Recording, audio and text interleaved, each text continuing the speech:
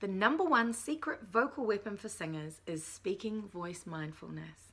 Now, we use our speaking voice all day long. It's the same mechanism, of course, as your singing voice.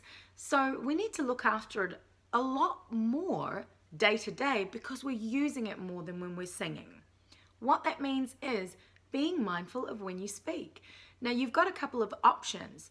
You want to think about where your voice naturally lives when you're speaking. My voice in the beginning, before I was aware of speaking voice mindfulness, was a little bit like Helen Clarkson's. I used to have quite a heavy placement and it would take a lot, it was very taxing on my voice to be speaking like this all the time.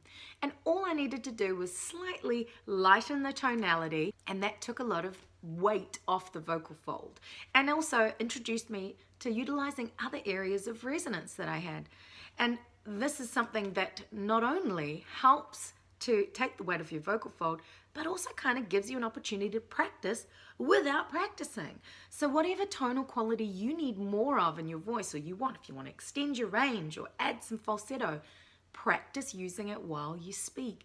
And then you're killing two birds with one stone.